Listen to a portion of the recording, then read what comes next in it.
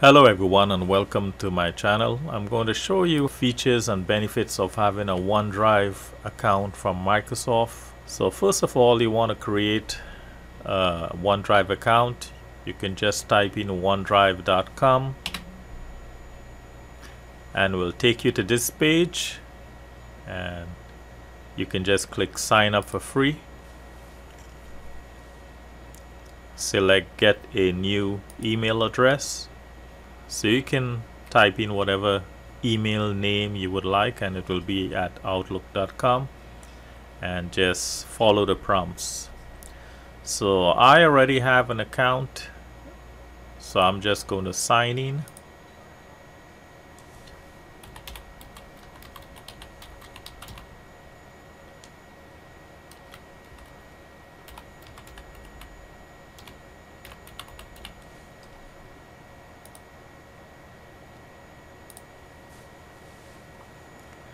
So once you're signed in, you're going to get folders. You're going to get a personal vault and a PDF. And this is the web interface. And this is your OneDrive space. Now there are many features in having a OneDrive account. You can use all of Microsoft uh, Office apps for free just by creating a Microsoft account. So on the left side, on this tile icon, click on that and you can see some of the Microsoft 365 apps that you can use. There's Outlook, Excel, Word, PowerPoint, OneNote, and Skype. Also, you can access the same things by just clicking on New clicking on the drop down menu. And you can just click on if it's a Word document you would like to use or if it's an Excel document you would like to create a PowerPoint presentation you can just click on it. So I'm just going to click on a Word document. This is a blank document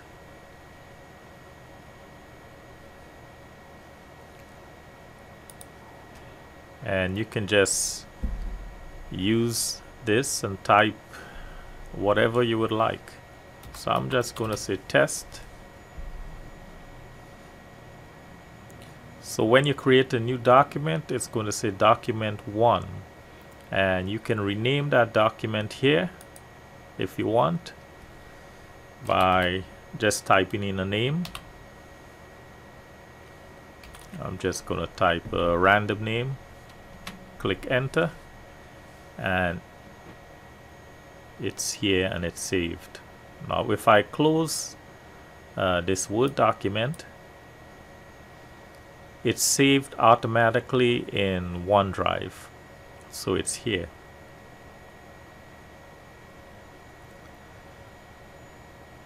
Now you can do that also if you want to create an Excel document you want to use that you want to create uh, PowerPoint presentation. You can click PowerPoint presentation and you can create your your PowerPoint presentation.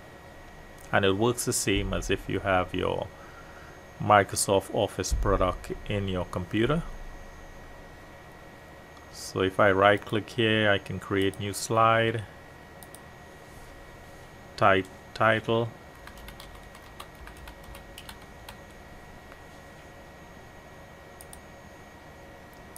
and you can insert pictures shapes.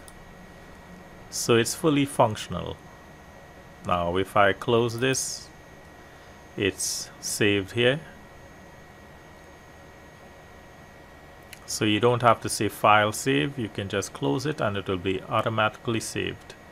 Now if I want to rename this I can just right click and I can click rename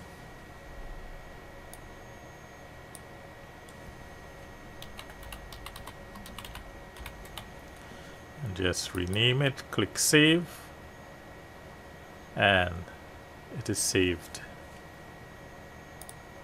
So this is how you can create a new Word document or Excel or PowerPoint or OneNote forms. Now when any part of the space in the OneDrive I can just right click and I can create a new folder a Word document as you can see with the drop down menu.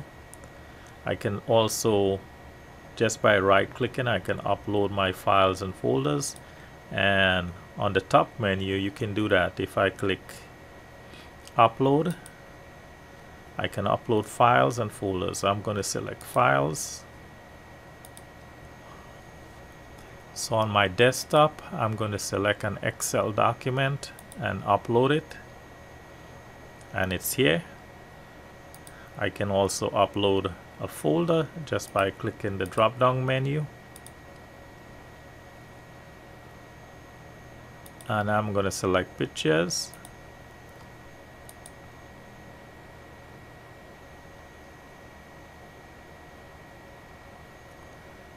So the folder is uploaded with uh, everything in it so this folder has pictures in it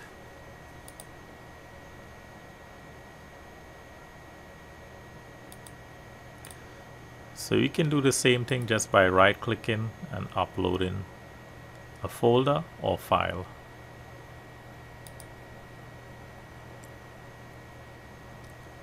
Now on the right side here there's a gear icon and if I click on that gear icon I can click on options.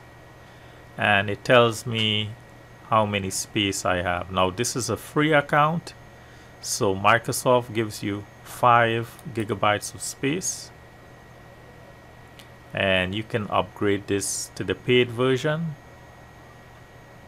So on the left side if I click on plans and upgrades it gives you a whole list where you can purchase where you can get more space in your OneDrive account So also on the left side, if I click on Office File Formats, you can set the default format you would like your Microsoft Office document to open in. I will leave it as default. Click on tagging. It says allow OneDrive to automatically tag your photos by team.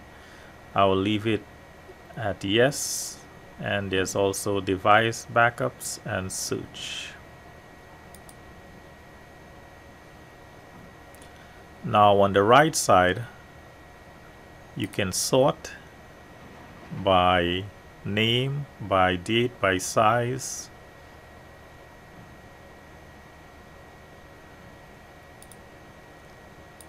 also you can change the the view of your folder and files. You can select list view compact list tiles photo. So I'm going to leave it as tiles.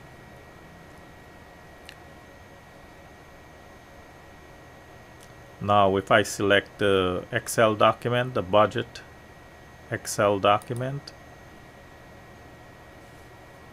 this is the info icon just click on it. So it gives you uh, where you can share this document. You can also at the bottom if you click on more details it gives you uh, detail more it gives you more detail about the document when it was modified date created and the path where it is located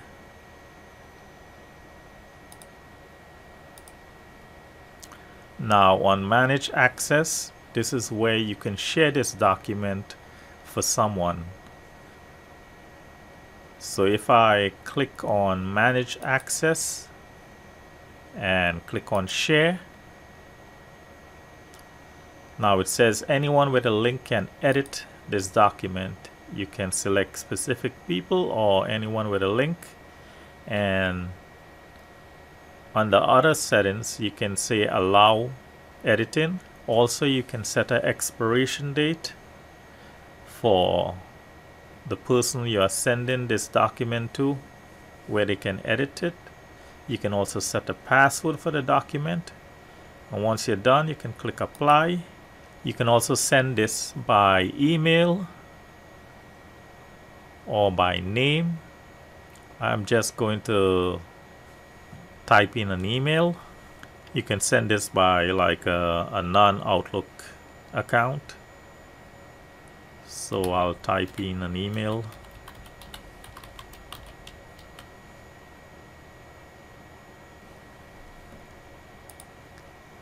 So this is a Gmail account I'll be sending this to. You can add more emails wherever you need to send it. And also you can type a message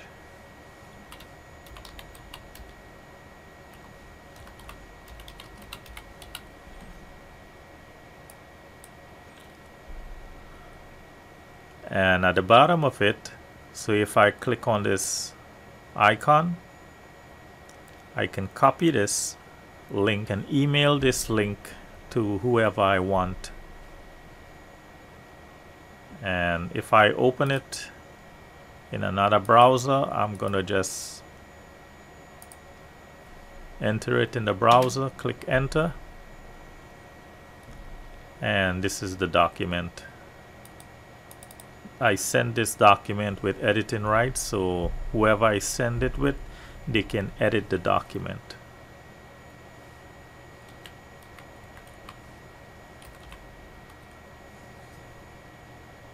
They can edit this they can make changes and they can save it. So as you can see uh, on this budget document it says has access and you can see I sent the link. I copied that link and I sent it. So it shows that I sent the link.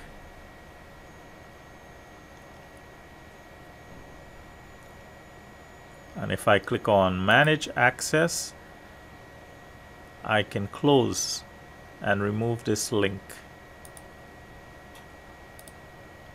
So once I do that whoever I sent the link to they don't have access anymore now on the top menu here you can use these to delete. You can copy to rename embed download share and open. So if I select this Word document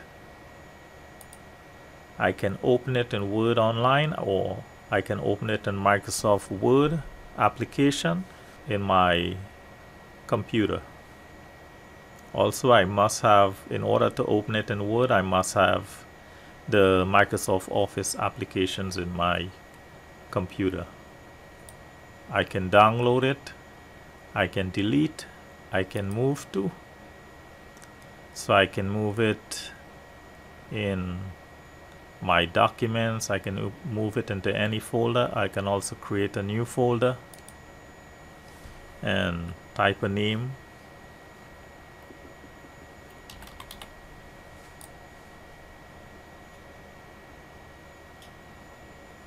So it is created here. Also I can just drag it. Once I drag it it is moved into the folder now from here I can also share it. And also I can just right click and just click on new and I can create a new Word document or Excel. And I have the same menu as the top here. Now on the right side there's an icon here and this is where you can log off or sign off your OneDrive web account you can sign up from here. Now those with Windows 10 usually the OneDrive app is already in Windows 10 but if you don't have the Windows OneDrive app you can download it from here. On the left side as you can see it's here. Get the OneDrive app and you can download it if you don't have it in your Windows computer I already have it So I'm going to log in into my OneDrive app.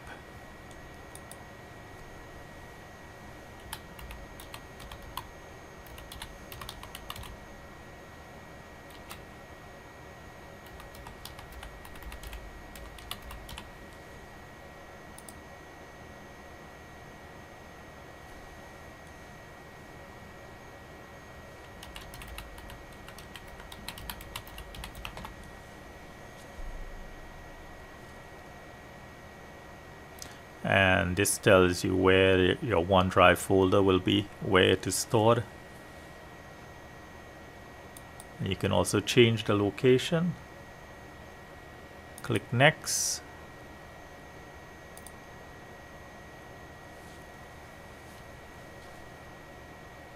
Click Not Now.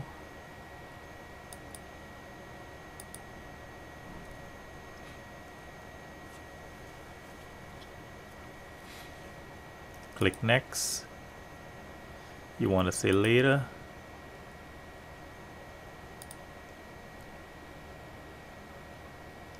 So this is the OneDrive app and usually it's it's in your taskbar. It's a cloud icon. And you can see all your files and folders are here so the files and folders that are in your OneDrive, it's the same here. So I want to click on open folder. Now if I right click any of these folders or documents and I want to keep a copy on my local computer, I just need to right click where the cloud icon is and select always keep on this device.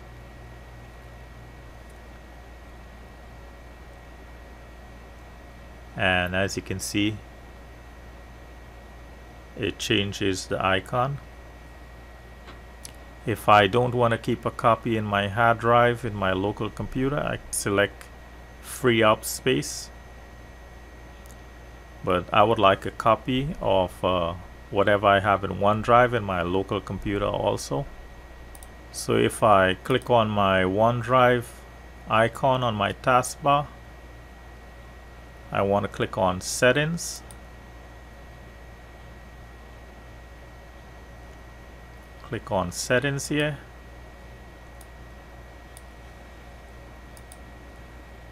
And there are some options here if you want to check you want to start OneDrive automatically when signing into Windows you can leave this on checked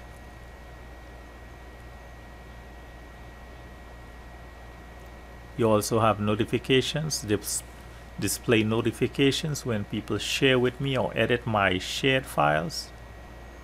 So you have all these options. So you can choose what you want or what you want to be checked or unchecked I'll click on account and it tells you the space how many space you have how many spaces used. Also on this option choose folders. You can select or unselect folders that you would like to be synced in your OneDrive. So you can uncheck or check click OK. Now if I click on the OneDrive app and I want I can share this document right from the OneDrive app. If I click on these three dots I can click on share and I can enter an email address and send it to this person I want to share this document with and this is a Gmail account.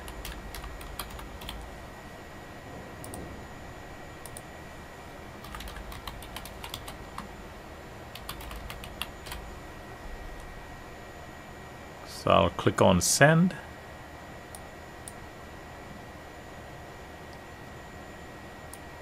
And it's done.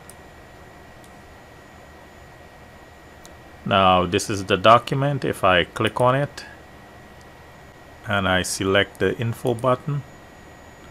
I can see that I shared this document with John Sam and it shows me the document. So I'm going to open my OneDrive app.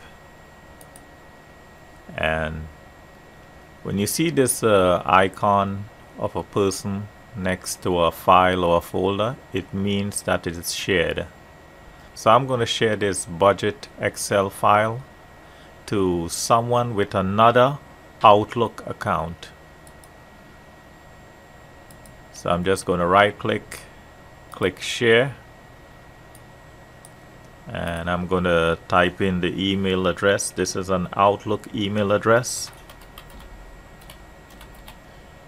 And I'm just to type uh, a mess, simple message here.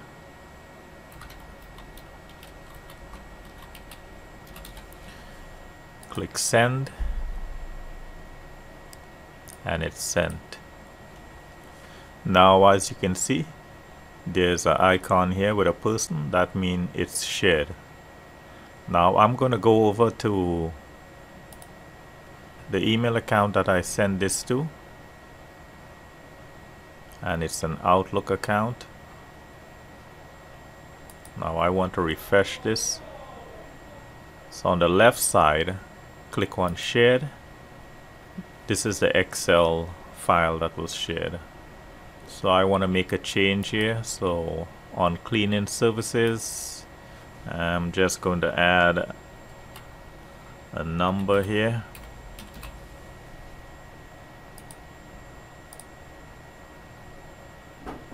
so I'm just going to close it. Now if I go back to the other OneDrive account and I open up the Excel file that I shared and as you can see it's updated. So when you send a file to another person with an Outlook account and you allow that person to edit that document such as an Excel file and whatever changes that person makes it is automatically shown in your account. And this happens with Outlook. So you must have an Outlook account and the other person must have an Outlook OneDrive account. Also in OneDrive there's a personal vault and this has an extra layer of security. If I double click on that it's a place with an extra layer of security for your sensitive and important files and photos. So if you want to store like important documents in this uh, personal vault you can do that because you can have an extra layer of security here. It auto locks after 20 minutes of inactivity So it asks you to verify um, your account. So this is the personal vault and you have a menu here also where you can just click on new Word document. You can choose whatever you want. You can also upload your important files and folders that are confidential. You can also rename. And when I click the OneDrive app, if I click on settings and under account this is personal vault you can you can select 20 minutes one hour two hours or four hours that your personal vault closes automatically if you have it open in your computer and you just walk away it will automatically lock. So you can set it at whatever minutes or hours you want. So I will leave it at 20 minutes. So this is how it shows it's open. And if I right click I can lock it. Now if you want to open your personal vault you'll have to like get a code.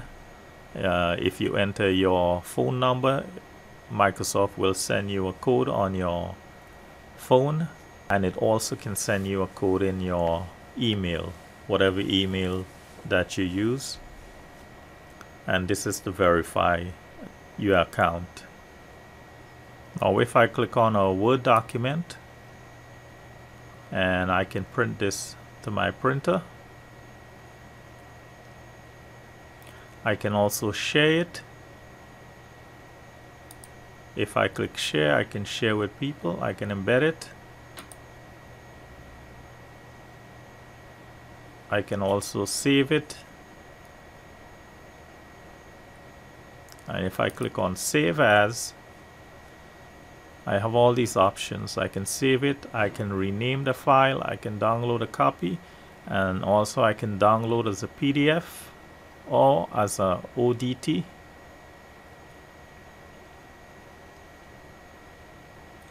so you have all these options that you can choose. And also in uh, this free version of Word you can also dictate uh, which is a great feature that you can use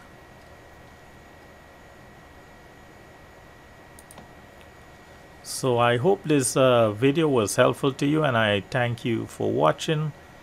I ask you to subscribe hit that like button